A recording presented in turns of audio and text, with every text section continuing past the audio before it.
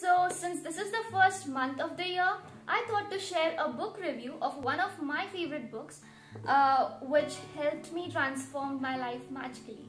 So it's none other than The Magic by Rhonda Byrne and to sum up this whole book in one word, it's about gratitude.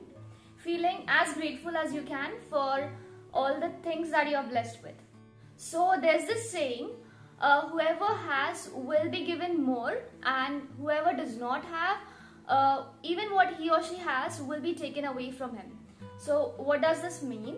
It simply means that whoever has gratitude will be given more in abundance and whoever does not have gratitude even what he or she has will be taken away from him. So gratitude operates through a universal law which governs your entire life just like law of attraction like attracts like so it's a simple fact. When you're not grateful for certain things in your life, you won't receive more in return because you just stop that flow, that magic from um, from continuing in your life.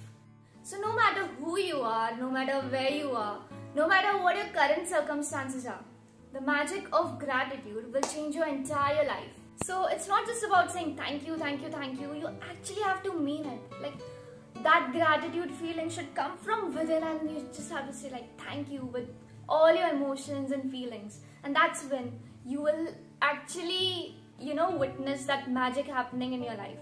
Um, so the gist of this book or the key aspect of this book is that you need to read it in 28 days consecutively.